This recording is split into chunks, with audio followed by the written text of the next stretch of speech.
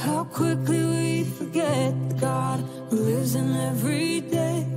How easy to lose sight that you reside in the mundane.